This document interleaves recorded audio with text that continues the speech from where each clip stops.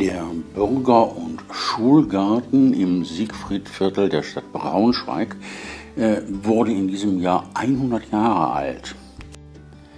Bekannt ist der Garten natürlich vor allem als blühende grüne Lunge der Stadt mit einer Vielfalt an Pflanzen, an Bäumen, Sträuchern, Blumen, Blüten und dem wunderbaren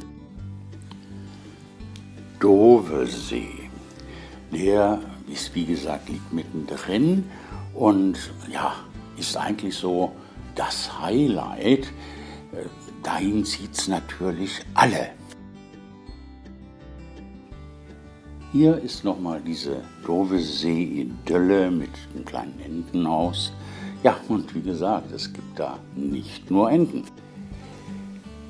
Die Attraktionen dieses Jahres sind die Nutrias, erst waren es nur einer und dann kamen immer mehr. Mittlerweile, ja, ist es zwar keine Plage, aber eine große, große Nutria-Familie. Die vertragen sich gut mit dem Gefieder am und auf dem See. Hier sehen wir rechts eine Gans, links ist ein Teichhuhn oder auch richtiger Teichralle. Tja, die Ente guckt auch schon ganz neugierig, was die kleinen Racker da machen. Und diese Ente hier, die scheint sich doch sehr zu wundern über die neuen Mitbewohner. Sie plappert ein bisschen griesgrämig vor sich hin. Naja, aber dann letztlich ist das schmackhafte Gras ihr dann doch lieber.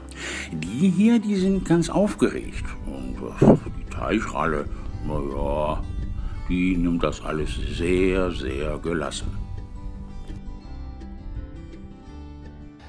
Und da sind sie, die Nutrias, die neuen tierischen Stars des Schulgartens. Ja, hier beim gemeinsamen Mittagessen auf der großen Wiese.